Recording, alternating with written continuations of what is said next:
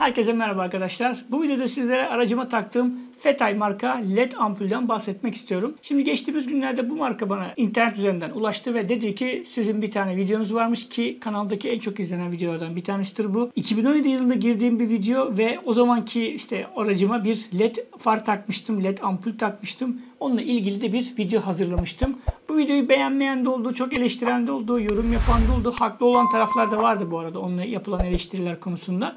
Ama benim yaptığım video bu işlemin nasıl yapılacağını anlatıyordu. O dönemin şartlarında da güzel bir video olmuştu. Şimdi marka bana böyle bir ürün gönderince bu H7 formatında olan bir ampul arkadaşlar.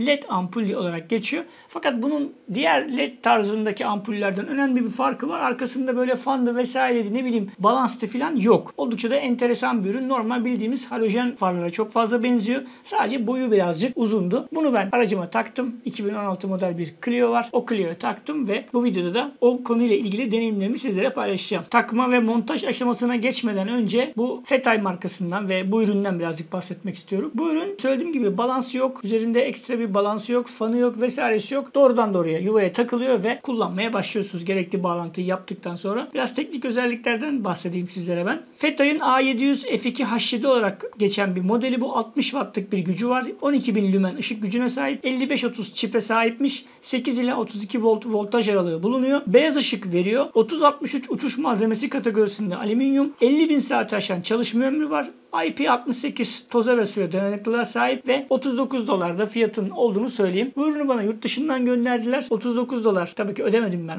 Marka yolladım bana. Ve 200 lirada bir vergi ödedim arkadaşlar. Yaklaşık 1000 liraya falan gelmiş oluyor. Eğer parayla almaya kalkarsanız 1000 TL gibi bir fiyattan bu ürünü alabiliyorsunuz. Gelelim montaj tarafına. Şimdi montajda şöyle bir sıkıntı oldu arkadaşlar. Benim araçta bir far sistemi bulunuyor. Aslında bu birçok e, B sınıfı giriş seviyesi otomobille hemen hemen aynıdır. Bir far şapkası denen bir parça var. Halojen ampulü o far şapkasının önüne takıyoruz. Ondan yansıyan ışık da geliyor. Ben onu söktüm. O da şöyle bir şey. Bunu detayda göstereceğim size. Ampulü buraya takıyoruz. Buradan yansıyan ışık da etraftaki bulunan e, parlak olan yüzeye gidiyor. Oradan da karşı tarafa doğru bir aydınlatma hüzme şeklinde yansımış oluyor. Sökmemin sebebi ise şu arkadaşlar. Bu Fetay markasının ürünü birazcık uzun. Yani normalde 2 santim falan daha uzun normal standart bir halojenden. O yüzden buraya girmiyor. Zaten tasarım gereği de aslında onun ucunda da bir şapka gibi bir şey de vardı. Onu detaylı size göstereceğim. O şapkadan dolayı da aslında buna ihtiyaç yoktu. Bunu çıkarttım sökmeden, parçalamadan, kırmadan. Şimdi montaj tarafında iki farklı yöntem var. Bazı ben farklı Türk YouTuber'larda da gördüm. Şuraları kesiyorlar. Şu kısımları kesip direkt bunu e, bu beraberinde verilen şöyle bir parçamız da vardı. Bu da çıkıyor yani söktüğüm zaman ikisini beraber söktüm ben. Bununla beraber o farı takabiliyorsunuz herhangi bir sorun olmadan ama ben öyle yapmak istemedim. Neden? Bunu kestiğiniz zaman bir daha bunu bu şekilde kullanmanız mümkün değil ve bulunan bir şey de değil bu. Bu arada piyasada bulamadım ben. Bulsaydım alacaktım. O yüzden çıkmacılarda falan ancak bulabilirsiniz. O yüzden ben sökmedim. Ben yapıştırmayı tercih ettim. O orijinalliği bozmak istemiyorum diyebilirsiniz. O zaman kesmek zorundasınız buralarını. Ya da bir şekilde bundan eldenip bir tane yedek tutup yani yarın öbür gün haracına dönmek isterseniz öyle bir yöntemde tercih edebilirsiniz. Ben yapıştırdım. Herhangi bir sorun olmadı. Birazcık apaçilik oldu mu? Oldu ama bence çok sıkıntı olmadığını düşünüyorum. Gerekli kurulumu yaptım ve ben bir haftadır kullanıyorum. Işık şiddeti vesairesi gerçekten de başarılı. Yani 12 milyon olduğunu zannetmiyorum ben. Açık söylemek gerekirse. Bu markalar biliyorsunuz biraz şeyleri şişirmeyi seviyorlar. Ama oldukça iyi bir aydınlatma veriyor. Halojene göre çok daha iyi veriyor onu söyleyeyim. Hatta size ben karşılaştırma bir video çektim. Aynı yollardan giderek hemen hemen aynı yollardan giderek bir hem halojenle hem de bu yeni led lambayla çektiğim bir video var. Onu izleyelim daha sonra incelemeye devam edeceğiz.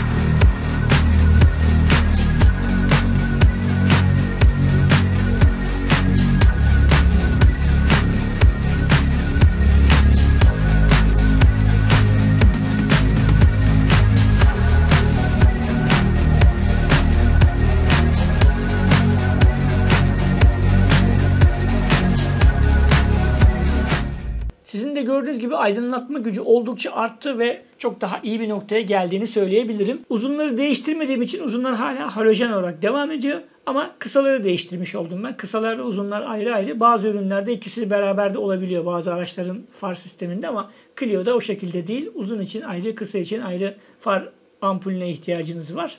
O yüzden ben uzunları değiştirmedim. Öyle çok da hani flash atsın bilmem ne yapsın falan da sevmiyorum öyle şeyleri. O yüzden bence kısaların olması yeterli. Aldığım sonuçtan da oldukça memnunum. Daha aydınlatıyor etrafı. Özellikle kapalı mekanlarda çok çok böyle daha aydınlık bir şekilde veriyor. Yalnız takma sırasında dikkat etmeniz gereken bir konu var. Onu da söyleyeyim montaj sırasında. Şimdi detaylarda onu göstereceğim. Şu anda ürünler araçta takılı olduğu için gösteremiyorum belki ama ampulün iki tarafında led lamba tarafları var. Yani isterseniz böyle takabiliyorsunuz, isterseniz şöyle takabiliyorsunuz arkadaşlar. Ben ampulü bu şekilde taktım. Böyle bu tarafa ve bu tarafa verecek şekilde taktım. Böyle taktığınız zaman karşı tarafta düz bir çizgi oluşturuyor. Eğer böyle takarsanız en azından Clio için söylüyorum bunu ben. Diğer arabalarda farklı olabilir bu arada onu söyle bilemiyorum. Böyle taktığınız zaman yukarı doğru veriyor ışık saçılmış oluyor ve bu da hem e, karşıdan gelen otomobiller için rahatsızlık verici hem de arkasında durduğunuz aracı, araçlar için de rahatsızlık verici bir durum oluşturuyor. O çizgiyi düz olduğunu gördükten sonra montajı bitirmenizi ben öneriyorum. Eğer bu tarz bir ürün takacaksanız illa bu ürün için söylemiyorum. Farklı markaların ürünleri takarken de buna dikkat etmeniz gerekiyor. Aynı zamanda bir de far ayarı yaptırın. Eğer bu konulardan anlamıyorsanız veya bilmiyorsanız far ayarı da yaptırırsanız çok daha güvenli olacaktır. En azından karşı tarafı rahatsız etmemiş olursunuz. Ben genel olarak ışık şiddetinden vesaireden memnun kaldım. Özellikle eski model bir otomobili olanlara bu tarz dönüşümü tavsiye ediyorum ama söylediğim gibi karşı tarafı rahatsız edecek ve aracın orijinalliğini bozacak hareketlerden kaçmanızı rica ediyorum. Tek beğenmediğim tarafı bazı durumlarda sağa ya da sola sinyal verdikten sonra sinyal konunu yukarı tekrar hani orijinal konumuna getirdiğinizde böyle bir gidip gelme gibi garip bir durum oldu. Onun sebebini bilmiyorum. Artık neden yapıyor onu bilmiyorum. Ama böyle bir durum oldu. Her zaman da yapmıyor bu arada. Onu da fark ettim. Yani bazen yaptı bazen yapmadı. Bunu da altını özellikle çizmiş olayım. Peki 1000 lira verip alınır mı? Valla bana marka gönderdiği için ben hani aldım denedim. Deneyimlerimi size aktardım. Türkiye'de de benzer fiyatlara farklı ürünler bulabilirsiniz. Onu söyleyeyim. Daha uygun fiyatlı çözümler de var. Alıp onları da deneyebilirsiniz. Ne yaparsanız yapın. Söylediğim gibi karşı tarafın, karşıdaki sürücüleri rahatsız etmeyecek ayarları yapmayı unutmamanızı özellikle rica ediyorum. Ürünü markanın internet sitesinden satın alabilirsiniz. Açıklamaya ben linklerini bırakacağım. Oradan da alışveriş yapabilirsiniz arkadaşlar. Türkiye'de yolluyorlar. Videonun başında söylediğim gibi 40 dolarlık bir fiyatı var. Bir 200 lirada bir vergi alınıyor. Yaklaşık olarak 1000 TL'ye falan gelmiş oluyor. Bu arada internet sitesinde farklı türde led ampuller de bulunuyor arkadaşlar. Onlara da bir göz atmanızı öneririm. Yani sizin aracınızda H7 değil de H4'tür. H4 içinde çözümleri var. Farklı türden ampul türleri içinde çözümlerinin olduğunu söyleyeyim Fetay'ın. Bir incelemenin daha sonuna geldik. Bu videoda sizlere aracıma taktığım yeni led lambadan bahsettim. Bu ürünle ilgili merak ettiğiniz, benim anlatmayı unuttuğum konular mutlaka vardır. Yorumlar yazmaktan çekinmeyin arkadaşlar. YouTube kanalıma abone olmayı unutmayın. Abone olmanız benim için önemli. Abone sayım arttığı zaman hem bu tarz ürünleri isteme konusunda daha elim güçlü oluyor. Aynı zamanda markalar da bana ürün gönderme konusunda daha bonkör davranabiliyorlar. E bu da size daha fazla video olarak yansıyacağı anlamına geliyor. Bu konuda destek olursanız sevinirim. Aynı zamanda beni sosyal medya hesaplarımdan takip etmeyi unutmayın. Bütün sosyal medya hesaplarımın linkleri açıklamada mevcut. Tek bir tıkla hepsine abone olabilirsiniz. Yepyeni bir deneyim videosunda görüşmek üzere. Hoşçakalın. Kendinize iyi bakın.